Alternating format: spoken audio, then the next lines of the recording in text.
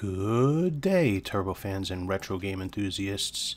Welcome to another episode of Turbo Tuesday.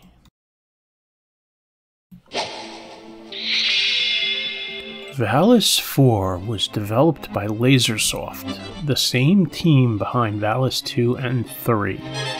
It was published in 1991 by Telenet for the PC Engine CD-ROM. It was only released in Japan. Valis 4 is the fourth and final game in the self-titled Valis series. It is a side-scrolling platformer. Following the events of Valis 3, Yuko is now a goddess and watches over Vecanti. The Dark World Prince, Galgear, breaks free of his prison and kidnaps Valna, the younger sister of Yuko. Knowing the Sword of Valis is the only thing that can defeat Galgear, Lena and her twin sister Amu set out to find the sword. Joined by Asfal, the king of the Dark World, they head to the heavens of Vecanti to retrieve the Sword of Valis and to defeat Prince Galgear. As in Valis 2, you can switch between characters. Each has their own special skill. Lena can perform a slide, Amu a double jump, and Asfal is invincible to certain traps. Weapons can be powered up by collecting colored orbs. Each character also has a unique magic skill. A status bar indicates the magic power and is drained when it is used or you get hit by an enemy. Switching between the three characters is key and needed to complete the game. In Valis 4, there is a definite improvement in visuals over the last two Valis games. The character sprites are more detailed and have smoother animations. The backgrounds are no longer flat and some levels have parallax effect that gives some depth to the game. The audio soundtrack is good, but in my opinion, doesn't shine like Valis 3 soundtrack. As with previous games in the series, there are also animated cutscenes. In Valis 4, they are a bit more detailed than previous. Unfortunately, Valis 4 was never released outside of Japan, but is a critical part of the series. If you enjoy the Valis series, definitely check this game out.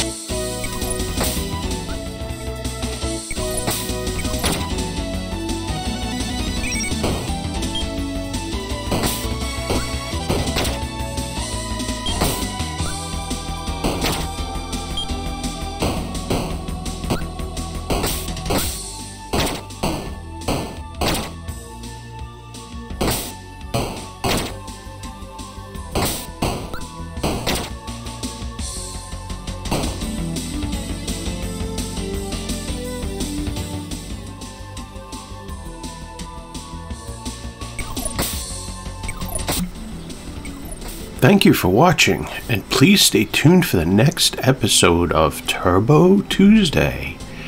Follow us on Twitter for the latest updates.